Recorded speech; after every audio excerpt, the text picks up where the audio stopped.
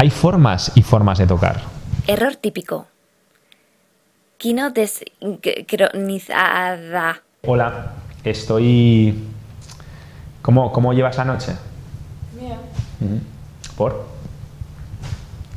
Nada, me lo estoy pasando muy bien. Ajá. ¿Y tocas miedo con amigas y eso? Sí, Ajá. ¿Y dónde están tus amigas? en el baño. Y voy ahora mismo a buscarlas. Ah, Sí. Bueno, me voy al baño. ajá. ¿Qué pasa? ¿Qué pasa? ¿Qué pasa?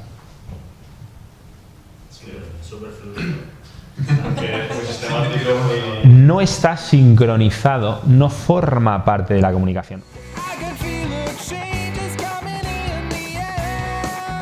¿Por qué decimos que el contacto físico es como la banda sonora de una película? ¿Qué pasa si a, lo que el viento se llevó le quitas la, música? ¿O qué pasa si a Psicosis, os acordáis de la escena famosa de la ducha de Psicosis de... ¿Qué pasa si le quitas el...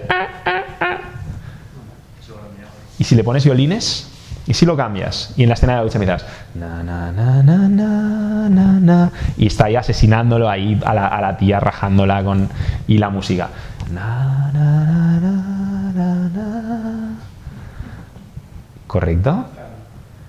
Fliparíamos en colores. Entonces, lo bueno de la banda sonora es que está integrada en la historia, en el argumento, y dos, no nos damos cuenta, porque forma parte de la comunicación, la potencia, forma parte de la comunicación, la realza.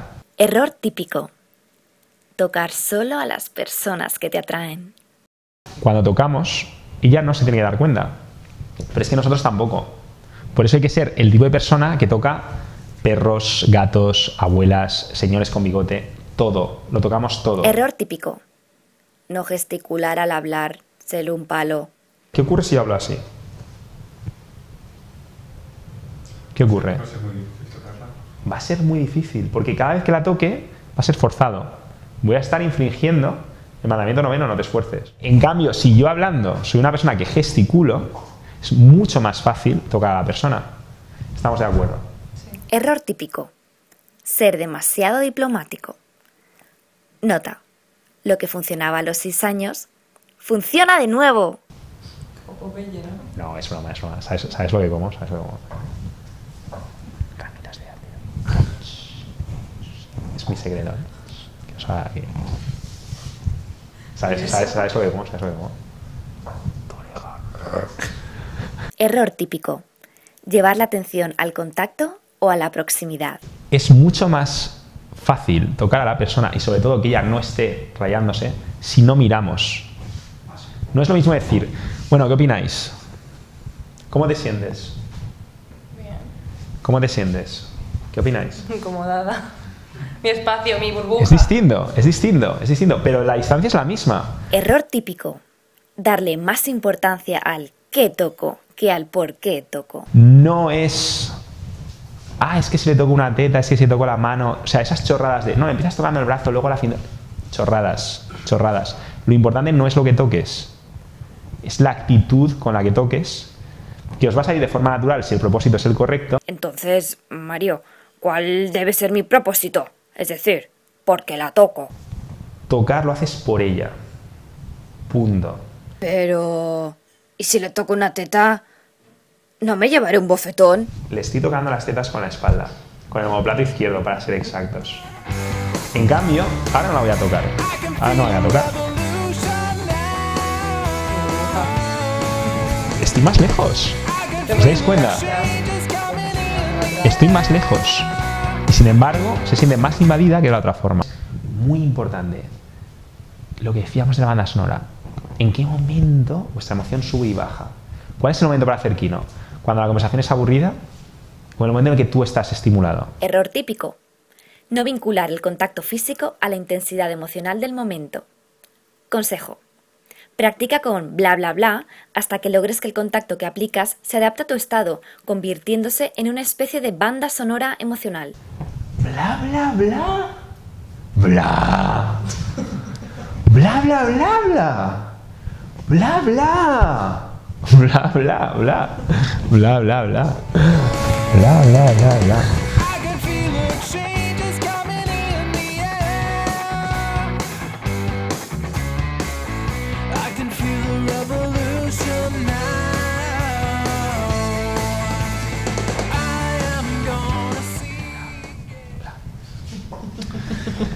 Bla, bla, bla, bla, bla, bla.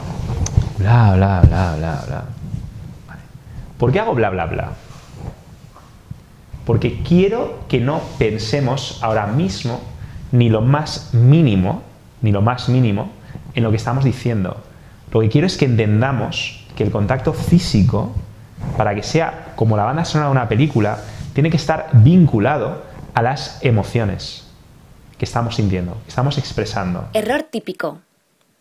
Tocar sin firmeza ni autoridad, de forma blanda y pusilánime. La garra es poderosa, la garra de autoridad rebosa, dominante, firme, grandiosa. La garra es poderosa. Garra, doble garra, la técnica de la doble garra. Esto es como el kung fu, ¿vale? Estilo del tigre. Es una forma de anclarnos, de recordar que cuando tocamos a una mujer, aparte de acariciante, de firme, perdón, ha salido, ¿ves? Aparte de acariciante, aparte de envolvente, de arropador, también tiene que ser firme y decidido. Porque cuando en un momento dado tocamos con autoridad, con iniciativa, eh, ella va a sentir más, sobre todo si la idea es buena, que somos la clase de hombre que la puede llevar a vivir una aventura. Y contraintuitivamente, aunque en el momento diga, uy, está siendo brusco, la impresión que se va a quedar de nosotros va a ser más buena porque somos ganadores, somos la clase de hombre que cree en lo que hace, que tiene iniciativa, que es un poquito dominante, que es un poquito líder. Es como ese niño que te coge de la mano, nunca os ha pasado. Corre, ven, que te voy a enseñar algo y no se lo piensa. Pues eso es muy sexy y es muy masculino. Y a ella le va a gustar mucho. Y va a hacer que nos perciba también más fuertes. Y por lo tanto que sienta más segura.